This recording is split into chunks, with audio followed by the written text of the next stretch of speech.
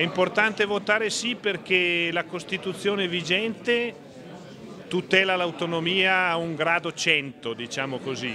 La Costituzione nuova tutelerà l'autonomia a un grado 200, cioè avremo un meccanismo secondo il quale il Parlamento non potrà modificare il nostro statuto se non saremo d'accordo anche noi del Trentino e dell'Alto Adige.